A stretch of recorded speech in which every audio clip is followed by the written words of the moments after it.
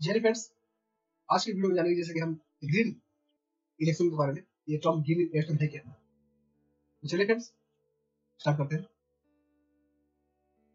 ये context promoting eco friendly electoral practice in India इसे crucial है एमिड द क्लाइमेट क्राइसिस के लिए।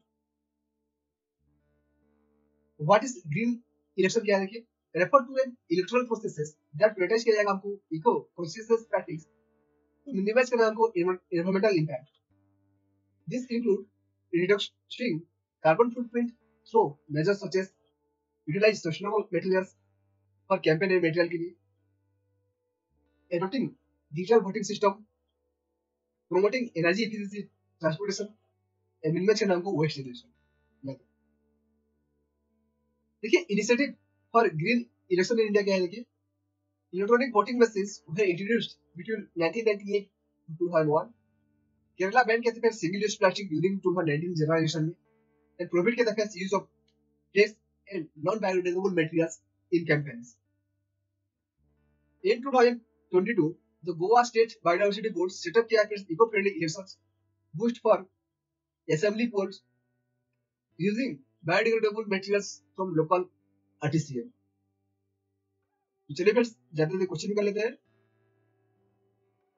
regarding Bhutan consider the following statements Bhutan landlocked country is situated between India and China या भूटान एक landlocked country है रहा है the longest river of Bhutan is the Manas river है क्या भूटान का longest river मानस है India is Bhutan's largest trading partners accounting for over 80% of Bhutan's Bhutan का total import and export तो भूटान इंपोर्ट भी करता है टोटल उनका एक्सपोर्ट करता है 80% उसका। How many of the statements given above are correct only one only two all three या नॉन ऑफ़ दिस तो फ्रेंड्स इसका जो भी डाटा है, उसको पुट कीजिएगा। उसी के फ्रेंड्स क्वेश्चन अटेंड करने के लिए।